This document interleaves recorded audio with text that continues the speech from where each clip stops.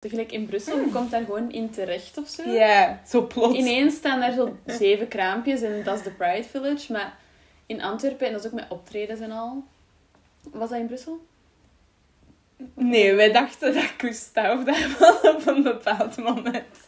Maar dat was helemaal niet. Het was en- enkel eh, Alexander de Croo. En Elio de Roepo was er ook. Maar, waar komen die politiekers ineens?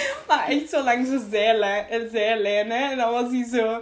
Zo blijkbaar was hij zo in mensen hun haar zo aan het wrijven.